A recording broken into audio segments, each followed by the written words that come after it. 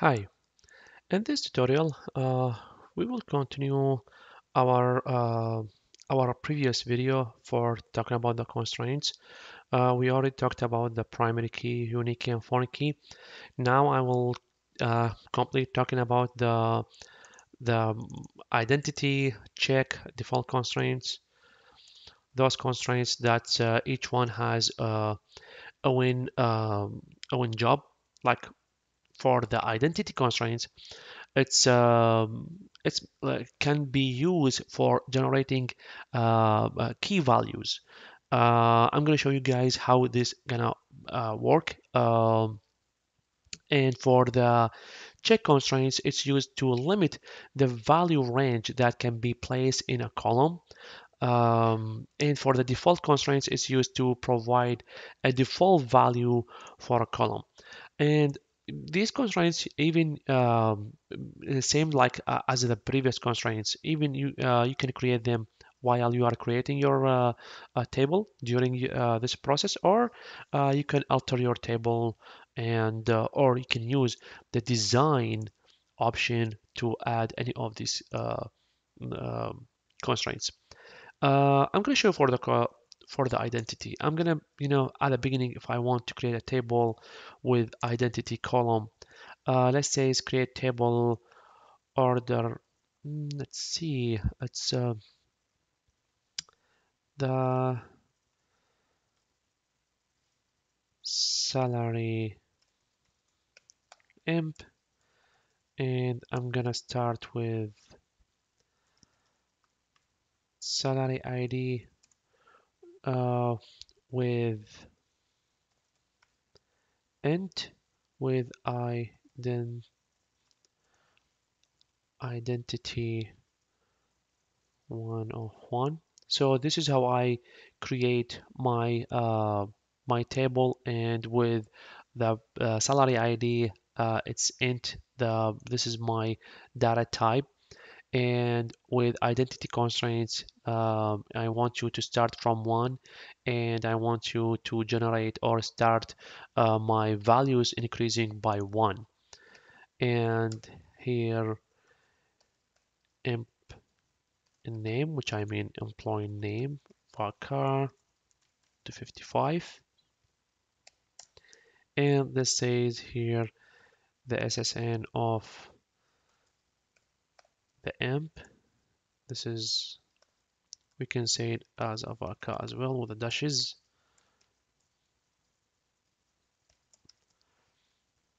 so here where I created my table and here is the salary imp and this is my salary ID if I want to let's say insert into salary ID and the values for the input name let's say here. Melvin and for the social security say one two three.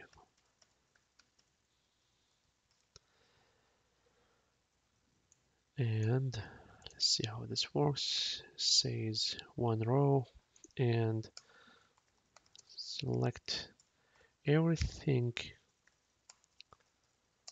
from my salary imp table. See it's generated here uh, a one if I inserted another row it will increasing by one so two for example if I want to add the identity if I want to add it like let's say to this table I created this table it's empty. And if I already created and now I I realize that hey I forgot to add my identity while I create my table. So how I can do that? You can say either either you can create it I'm going to show you from uh, using a script or go right here design. This is my column and go right here to identity and select yes and one and one. It's mean start from one and increase by one. And saved. Now I have the identity right here. If I insert into my order items. The order name it's TV the price let's 255 and I want to select everything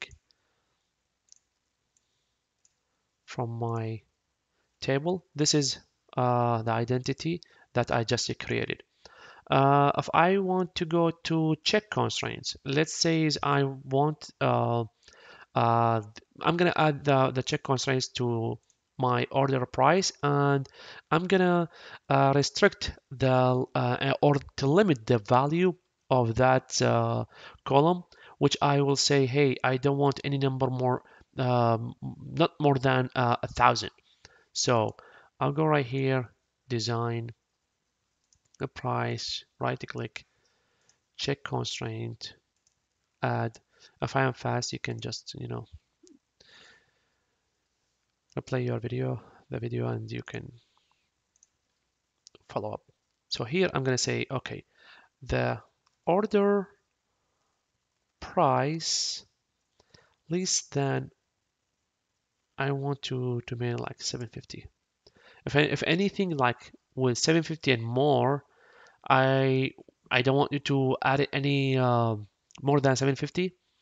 Uh, anything else, uh, I'm okay with it. So press OK, close, save it. Now I have check constraint here.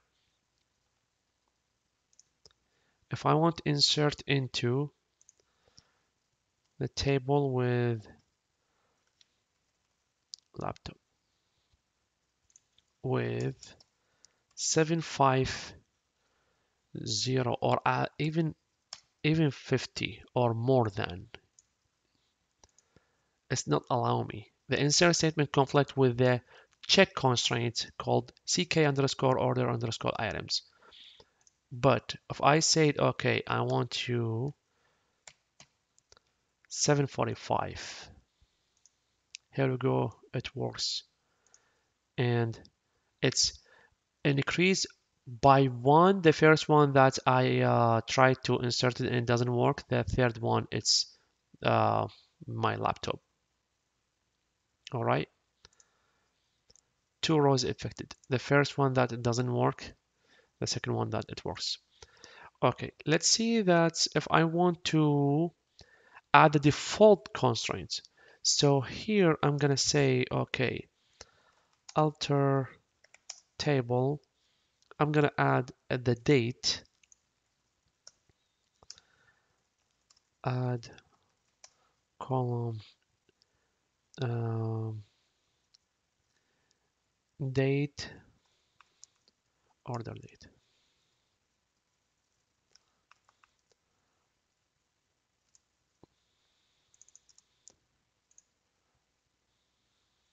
Order date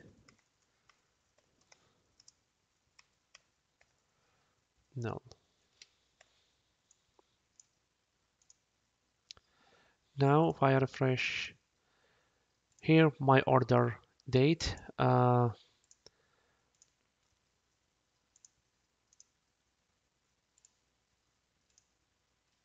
mm, where is my order date? It's supposed to be here. Let me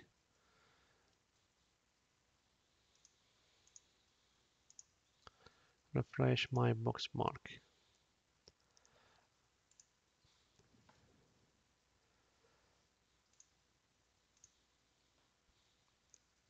order item. Design. I don't know why it's not showing. Order date. Come here. Go to date time. And here I'm gonna say the default item get a date this is what everything that you're gonna um, it to this column to, this, to these columns in this uh, table.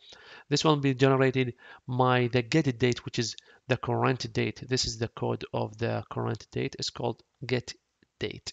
So I'm gonna insert I'm gonna say here phone with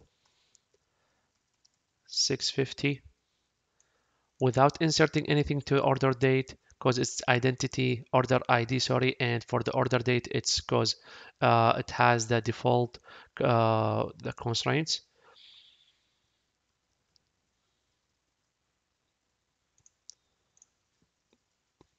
Here because it's he's now reading the other column so he wants me to uh, put a values to the order date which is I don't want I'm gonna say only to the order name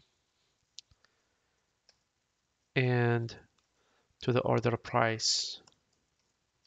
That's it. Now I have one row, it's inserted. See, this is the date that is generated. Uh, I just inserted uh, my uh, my row for the order name called phone, the order price 650, and this is generated automatically and this is my default value and this is the identity that it's created by default. So this is how you can uh, manipulate with your uh, tables and uh, use this uh, as your advantage for uh, your project. Thank you for watching